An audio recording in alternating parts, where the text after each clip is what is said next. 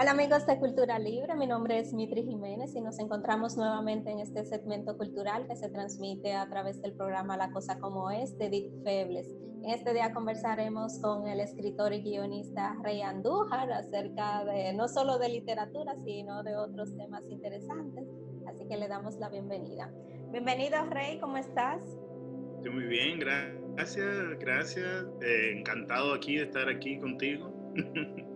Yo te he invitado en esta ocasión para hablar un poco de literatura.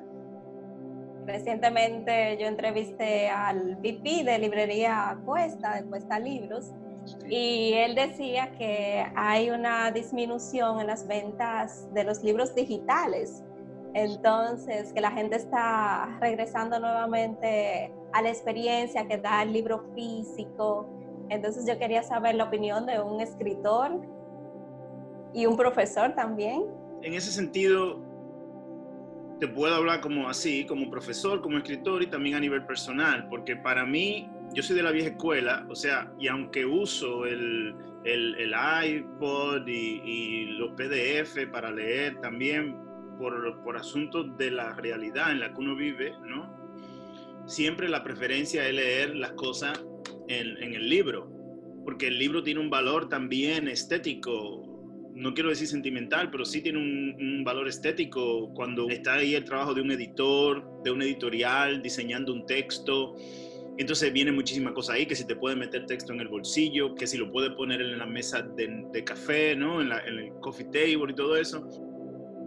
Yo creo que las generaciones se van moviendo en una manera de, aunque tengan esta opción, que existe, la opción de leer en digital y todo eso, el valor estético del libro siempre es apreciado por alguien que aprecia la lectura. claro, uno vive, o sea, uno nota que hay necesidad, ¿no? De, qué sé yo, que hay una crisis siempre en la cultura, pero que siempre existe la crisis en la cultura. Eh, no creo que cuando Picasso estaba haciendo sus Picassos en ese momento, en ese momento, era tan popular como es ahora yo creo que con el tiempo la gente aprendió a apreciar más esas obras de arte y todo eso, ¿no? O sea, yo no tengo una mirada fatalista con esa situación del libro digital y lo que está pasando ahora mismo, no, no lo veo así. Yo creo que uno busca eh, otros nichos de mercado y uno busca la manera para llegar a los lectores. ¿Y por qué tú hablas de la cultura como en crisis? ¿A qué tú te refieres con eso? Siempre un estado de crisis porque la cultura cuestiona cosas que nosotros en el día a día o el mercado regularmente no cuestiona, no, no, no, no ataca, ¿me entiendes? Eh, y, y nosotros mismos, por ejemplo, electoralmente, políticamente, la posición correcta ahora mismo sería esta persona que está en contra de la guerra, que está a favor de la paz, que hace lo que le dicen los ciudadanos, que recicla como tiene que reciclar, quizá hablando del COVID, que siempre se pone su máscara y todo eso. Electoralmente eso es lo correcto. Pero tú y yo sabemos que en la vida práctica y real nosotros no somos así. Nosotros votamos por Danilo, o votamos por el otro, o votamos por Trump. Porque si tú me dices a mí, una gente que está aferrada a la cultura, que que, busca los valores más intrínsecos del ser humano y tal y tal y tal. No tendría de presidente a Trump o a Berlusconi. Y sin embargo, ellos están ahí. O sea que hay una disociación entre la cultura, lo que está bien y lo humanista y todo lo demás, y lo oculto, con la vida práctica y la realidad. Entonces, por ese sentido, la cultura siempre va a estar en crisis. La, la cultura tú la puedes poner en el mismo grado de gravedad que el medio ambiente, ahora mismo, por ejemplo. Y entonces, al final, ¿qué es la cultura? Es una construcción, yo creo, de todos los imaginarios. Es una construcción, no es algo necesariamente tangible y es algo muy orgánico, ¿no? Los procesos de la cultura son casi intangibles, para bien y para mal, tú sabes. Eh, nosotros tenemos que tener más acceso a esos museos de arte moderno, tenemos que tener más acceso a esas cosas y que no sean edificios que están ahí, que a veces abren, a veces no, como que un misterio rodeado de eso, de, la, de, de una falsa clase media que ya eh, está muy mezclada, ¿no? Eh, así yo pienso que nosotros podemos tratar de tocar lo que es la cultura, porque tú me lo preguntas a mí y yo estoy balbuceando, porque yo no tengo una respuesta de lo que es la cultura. Yo lo que entiendo y como la siento, tú sabes, que es una cosa viva, que palpita, orgánica, viva aunque, la, aunque el muera, porque nosotros hoy estamos hablando de Borges todavía, Y Borges, qué sé yo, murió hace un tiempo y tal y tal, pero se sigue hablando de él. ¿Por qué? Porque es el significado de la cultura, es una cosa orgánica que va mucho más allá de nosotros. O sea que recientemente conversé con la directora del Centro León, María Amalia León de Jorge, y ella decía que en el Centro León, en los museos, o sea, se utilizan herramientas para, para que la gente tenga un pensamiento crítico. Entonces, anteriormente tú habías comentado de que la cultura invita a ser crítico. Entonces, ¿cuáles son esas herramientas, en tu opinión, que debe de tener la gente para que pueda ser más crítico ante las realidades que les rodean? Nosotros tenemos que empezar a enseñar a la gente que eh, acceder al arte no tiene nada que ver con tener buen gusto o mal gusto. O sea, que no es una cosa personal es una cosa social, ¿no? Eh, es un buen ejemplo que tú pones. Y yo vi esa entrevista, me gustó mucho eso, pero también hiciste una, le hiciste una a don Freddy Ginebra. Entonces, ¿qué son estos sitios, no? Estos sitios están muy abiertos, son muy accesibles. O sea, y tú entras a casa de teatro, lo primero que tú ves es una exposición de arte. O sea, no, eso no es casual. Que tú te vayas a dar un trago allá atrás o que vaya a ver una obra o un allá atrás y tenga que pasar por adelante de una exposición. Eh, eh, no es casual, es abierto, dándole una oportunidad a la gente para que se forme un criterio de lo que, de lo que es, no lo que dice el artista que debe ser o que dice el crítico. En un sentido, el crítico, la figura del crítico, esa si, si estamos hablando de crisis de la cultura, esa está casi del otro lado. Es muy triste eso, porque el crítico, aunque uno se, aunque no tenga una buena relación con el crítico, uno necesita ese balance de información para poderse crearse su propio criterio. Porque aunque el crítico diga, el crítico puede decir que la obra es mala o buena, pero tú puedes comparar tu propia...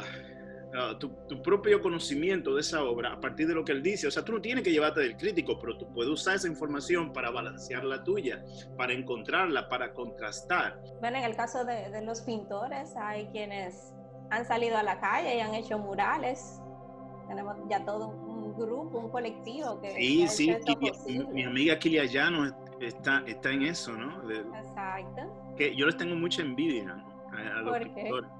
Bueno, yo como escritor quisiera hacer ese tipo de cosas, las intento porque yo tengo una columna, a veces recito poesía en Facebook. Eh, básicamente yo trato de mantenerme ocupado, tratando de, de establecer un sistema de comunicación porque no sé cómo lo hacen otros artistas, pero como yo soy narrador, que yo lo que hago son cuentos, novelas, guiones, yo, la, yo necesito, eh, para mí es vital tener ese, ese intercambio. Entonces yo salgo a la calle a ofrecer mi trabajo, a ofrecer mis cosas, ¿no? Digo yo la calle, pero básicamente eso, Facebook, la columna y todo eso, para lograr algunas reacciones y empaparme, ¿no? Yo te confieso que yo hasta hace poco no sabía lo que era pámpara. y, lo escuchaba por ahí, me gustaba cómo sonaba, pero decía, bueno, no voy a averiguar lo que es. Cuando yo me entere de lo que es, me llegará, ¿no? Y yo creo que lo sabes. Hace como cuatro días vi un video y ya yo creo más o menos que creo que sé lo que es. en la literatura hay discriminación hacia la mujer porque yo siento como que la mujer no, no la mencionan tanto cuando se habla de, de influencias.